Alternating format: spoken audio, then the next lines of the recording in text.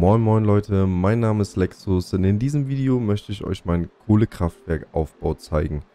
Ich habe hier ganz hinten in der Wüste habe ich gebaut, habe dort angefangen, habe mir acht Kraftwerke aufgestellt und natürlich relativ zeitnah gemerkt, okay diese acht Kraftwerke, die reichen nicht aus und ich möchte die nicht einfach nur stumpf danebeneinander stellen, das ähm, finde ich, das sieht einfach auf die Dauer nicht aus.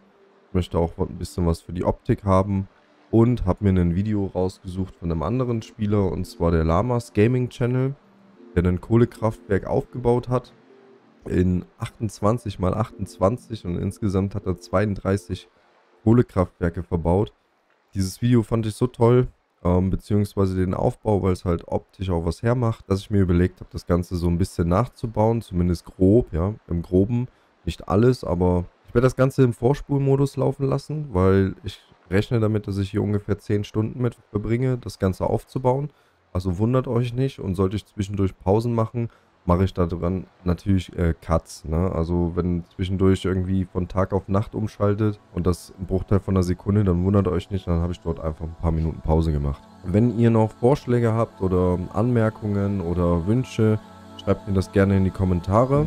Ich wünsche euch auf jeden Fall viel Spaß bei dem Video und dann legen wir los.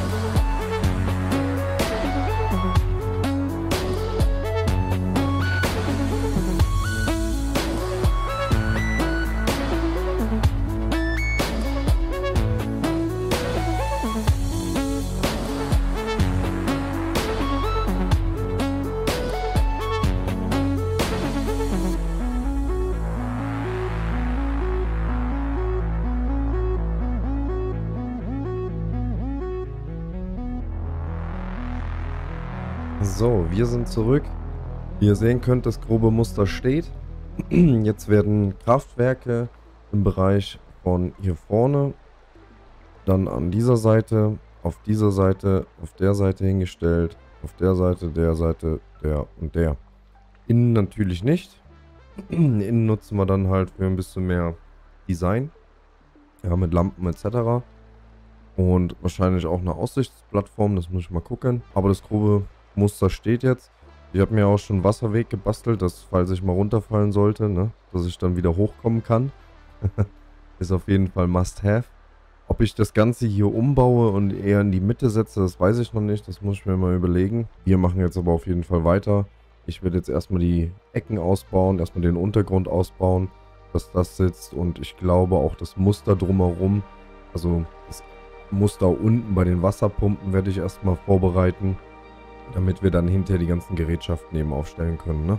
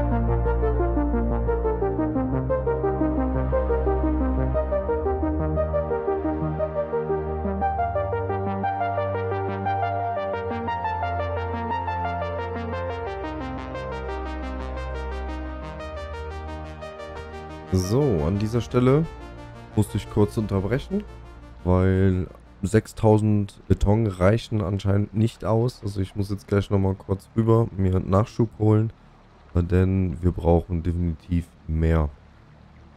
Ja, was machen wir jetzt momentan? Also ich mache eine Zwischenebene und zwar wird jetzt hier überall noch eine Etage tiefer gebaut. Einmal ringsrum, komplett.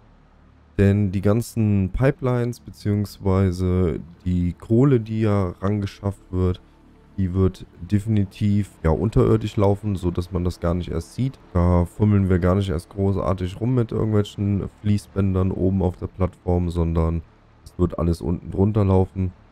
Das sieht man dann hinterher alles gar nicht. Aber dafür brauchen wir jetzt noch mehr Beton. Ich habe nämlich nichts mehr.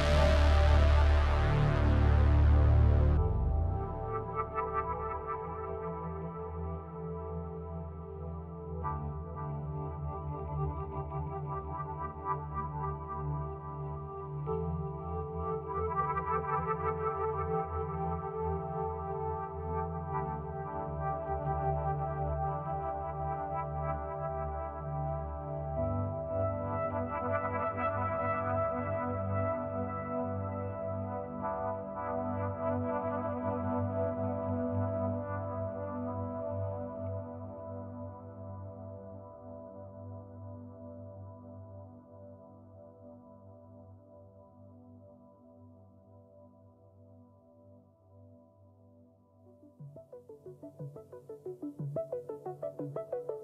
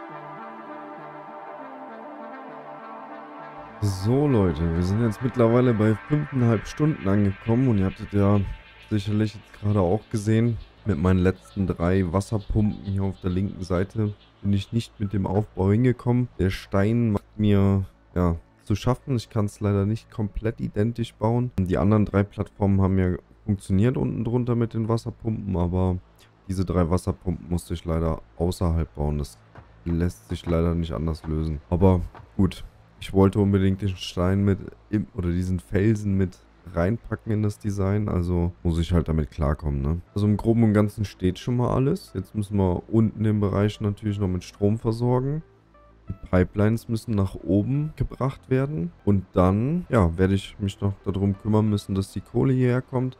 Aber da haben wir, haben wir super easy. Die Kohle ist hier, direkt vor Ort.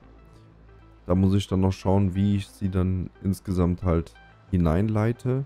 Aber ich sag mal so einen groben Plan habe ich schon, wie wir das Ganze machen. Wir werden das also von hier, von der Seite mit einer Art Tunnel hier runterführen. Und irgendwo hier an den Seiten gehen wir dann rein. Und ich denke, die Aufteilung dann wird eh hier unten in den Gängen erfolgen. Ich habe ja eigentlich genau die Hälfte, also ich kann einmal die Seite und die Seite verfolgen mit einem meiner. Und dann kann ich die rechte Seite und hier die vordere Seite mit einem meiner versorgen.